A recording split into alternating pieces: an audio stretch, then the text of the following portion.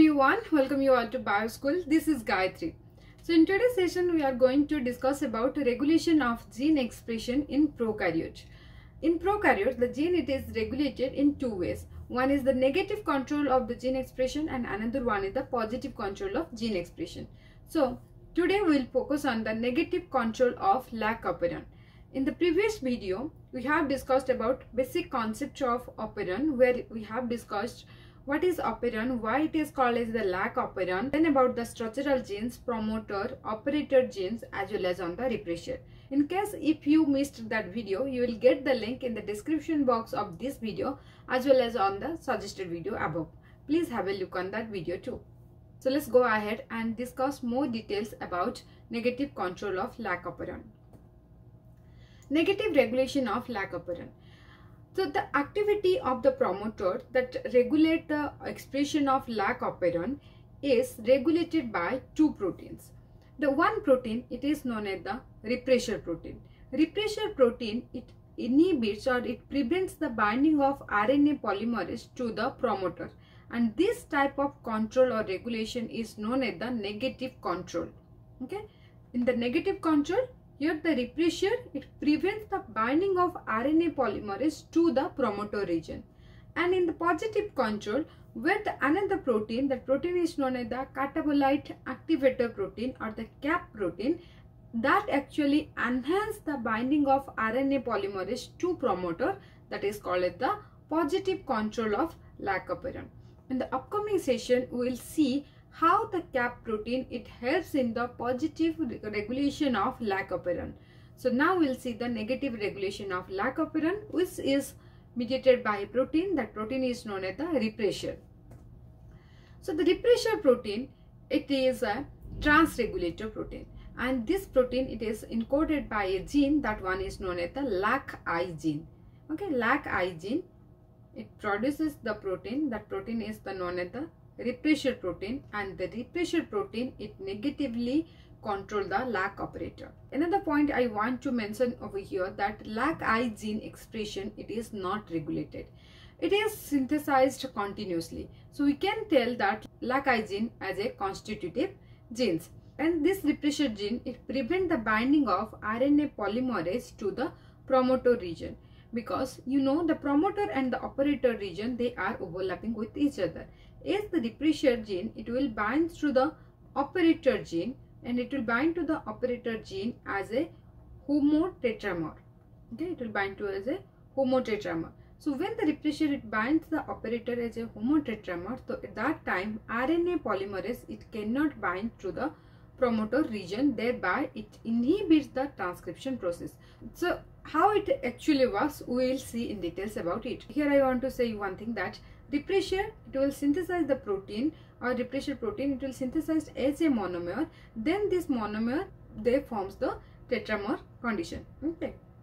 And this tetramer it will bind to the lac operator. In the previous video we have discussed that lac operator has a has a two half site that contains the palindromic sequence where the dimer form of repressor it will bind. And this one is the primary operator right? Operator 1 and this one is the secondary operators. So when two inertia of repressor molecule it will bind to the operator 1 and another 2 it will bind to the operator 2 operator 2 or the secondary operator. Similar way the repressor it binds to the operator. When the repressor it binds with the operator at that time RNA polymerase cannot bind to the promoter region thereby it inhibits the transcription. Okay, now we'll see the inducer and induction of lac operon. You know, the lac operon, it is known as the inducible operon. Why lac operon it is called as the inducible operon and what is the inducer that uh, helps in induction of the lac operon system? Now we'll look into that. You know, the E. coli, it always make a very little amount of beta-galactosidase, permease and transacetylase. But the synthesis means it will be enhanced in the presence of a molecule that is known as the lactose. When lactose is available in the media, then the synthesis of these three protein it will be enhanced. Otherwise, the, these three proteins are present, but they are present at very less concentration or very low concentration. you know bit first what will happen when the lactose it will enter into the cell by the lactose permease so when the lactose it enter into the cell by the lactose permease then the lactose it will be hydrolyzed by the beta galactosidase. As we have discussed in our previous session that beta galactosidase it uh, clears the lactose into glucose and the galactose. Also it convert the lactose into allolactose form. When there is allolactose it will be formed then this allolactose it in turn enhance the transcription of these three structural genes that is LAC-Z, LAC-Y and LAC-A. So here we can say that allolactose it act as an inducer. Okay, okay, see. This is the lactose molecule. If lactose it is present in the media, then lactose from the outside through the lactose permease will enter into the cell. In the cell there is presence of the very less concentration of the beta galactosidase. Then this beta galactosidase it actually hydrolyze the lactose molecule into glucose and the galactose which is used as an energy source. Besides that this beta galactosidase it also forms the isomerization form of lactose that is called the allolactose. Okay, in the allolactose, glucose and the galactose they are joined by beta 1,6 glycosidic linkage. So when this allolactose it forms, this will act as an inducer. It will act as an what? It will act as an inducer. So where the inducer actually binds? Inducer it will binds to the repressor and as the inducer it will bind to the repressor so the repressor cannot bind with the operator thereby it will help in the transcription of three structural genes that were in the Z, Y and A, A gene and it will produce the three different type of proteins okay so here the inducer is the allolactose and this process it is known as the induction of lac operon. Now we'll see how the lac operon it operates in presence and in absence of lactose molecule. Okay, first we'll see in presence of the lactose. If in the media lactose is present then beta galactosidase it will convert the lactose into isomeric form that is the allolactose. Okay, then this allolactose what it will formed it will act as an inducer and inducer it will bind to the repressor molecule. So, so when the inducer or allolactose it binds to the repressor, now the repressor it cannot bind to the operator region. Okay. As the repressor it cannot bind to the operator, now the RNA polymerase it can bind to the promoter region. As the RNA polymerase it bind to the promoter region, then it will help in the transcription of LAC-Z, LAC-Y and LAC-A genes as it will be the transcribed and it will produce the different proteins. When the lactose is present in the medium, then the lac operon it turns on. Now we'll see when the lactose is absent. So if in the media there is no lactose, lactose if it, there is no lactose then beta galactosidase though it is present in the low concentration initially but in absence of the lactose, it cannot hydrolyze the lactose into the allolactose. That means the inducer is absent. So here, inducer is absent. Remember, the inducer for lac operon, it is allolactose. It is not lactose. But, okay, when the lactose is absent, then inducer is absent. As inducer is absent, so the repressor is now free. Okay and now the repressor it will bind as a homotetramer form to the operator region.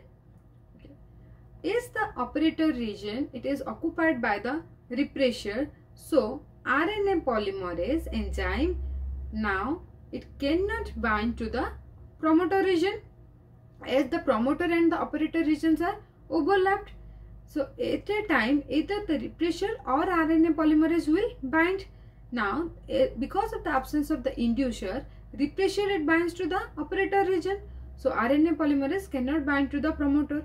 If the RNA polymerase cannot bind, then the transcription process it will be off.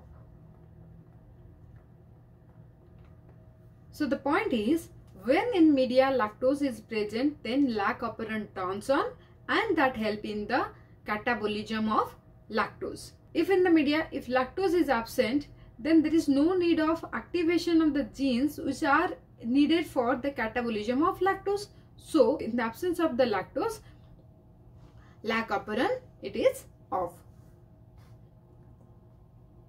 Okay. So we discussed that one inducer is the allolactose.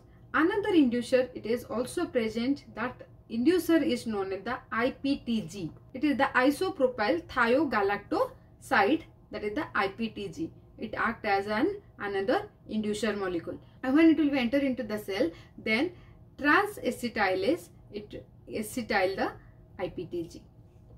So another synthetic compound that is used as a substrate. Okay, it is not the inducer. It is used as a substrate. That is the X-gal, which is called the 5-bromo 4-chloro 3-indole beta D galactoside. Okay, this one is the structure of the X-gal,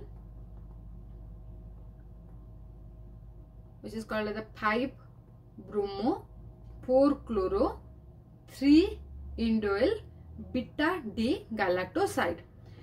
So this one it is act as a substrate. When the beta galactosidase it will act on the X-gal, it will form the galactoside as well as it will form 5-bromo 4-chloro 3-indole.